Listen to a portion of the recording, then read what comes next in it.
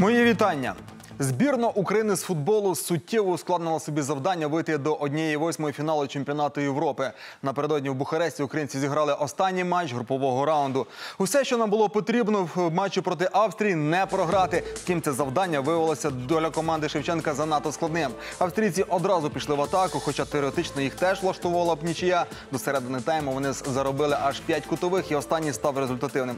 Крістоф Баумгартнер замкнув подачу Алаби і відкрив рахунок. Ще до перерви воротар австріяків потягнув удари Ярмоленка та Шапаренка. У суперника могли забивати Лаймер та Арнаутович. Не було голів і після перерви. Тож 0-1 поразка України, яка пустила далі Австрію. Нам было физически очень тяжело, мы везде опаздывали. Поэтому говорить о какой-то конструктивной игре, когда команда просто м, не была готова. И несмотря на это, значит, э, команда все-таки боролась до конца, значит, пыталась находить моменты, хоть и считанные, которые мы смогли создать.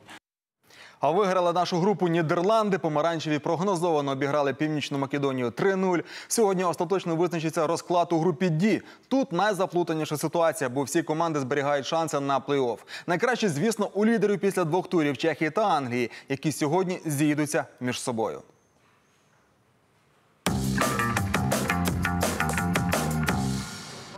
Збірну Чехії до початку турніру називали аутсайдером групи Ді. Але після двох турів саме вони лідери. Тому в матчі з Англією сьогодні Чехів влаштує навіть нічия, яка гарантує вихід далі з першого місця. Однак досягти цього на Вемблі буде непросто. Кілька років тому ми обіграли Чехів на Уемблі 5-0. То була гра в одні ворота, але нині це інша збірна Чехії, дуже сильна і з чудовою обороною. Тому ми готуємося до них дуже серйозно. В матчі групи хорвати у Глазго зіграють шотландцями. Підопічні Даліча провалили старт євро. Поразка від Англії 0-1 та нічия з чехами 1-1. Тепер Хорватії потрібна лише перемога, але навіть вона не гарантує вихід у плей-офф. Шотландія теж жахливо стартувала на євро, проте здобула історичну нічию у грі з Англією. Це надихає шотландців, але коронавірус, який скосив білі Гілмора, може суттєво ускладнити життя команді Стіва Кларка. Володимир Кириченко, ICTV. Збірна Росії уже пакує валізи додому. Росіяни напередодні просто розчавила Данія 4-1. Єдиний м'яч у цій грі найгірша команда групи Бі забила з пенальті. В іншому поєдинку дня фіни поступилися Бельгії 0-2. Антигероєм цього матчу став воротар фінів Лукаш Градецький. Перший тайм він відстояв на відмінно, а на 74-й хвилині став автором автоголу. М'яч після удару опоперечено влучив Лукашу в руку і підступно залетів у ворота. Підсолодив гіркоту поразки воротареві Ромело Лукако. За 7 хвилин гравець Інтера зробив рахунок у матчі 0-2, тож формально автогол Градецький не став вирішальним у поразці фінів. Спонсор показу Віво. Віво не пропускаючи момент. А ось для збірної України перемога Бельгії дуже доречна. До плей-офф виходять перші дві команди з кожної групи, а також чотири з шести найкращих третіх місць. Саме на одну з цих позицій тепер претендуємо і ми.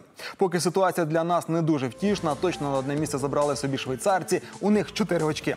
А от фіни, які теж закінчили турнір, мають гірші за нас показники три очки і гірша різниця. Ще тривають матчі у трьох групах, і нам вкрай важливо, щоб бодай ще одна збірна зіграла гірше за нас. У групі Ді сьогодні нам була б на руку нічия Хорватії та Шотландії.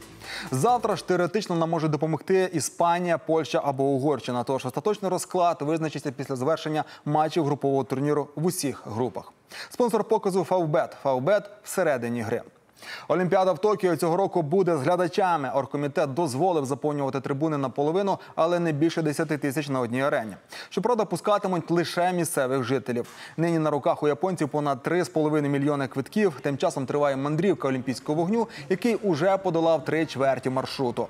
Напередодні закінчилася естафета префектурою Міягі, третина якої 10 років тому була затоплена після землетрусу і цунамі. Загалом за 121 день вогонь побуває у всіх 47 префектурах Японії. А 23 липня спалахне на Олімпійському стадіоні в Токіо. Що ж, це все про спорт на цю мить, але обов'язково подивіться факти о 18.45 і після них спорт.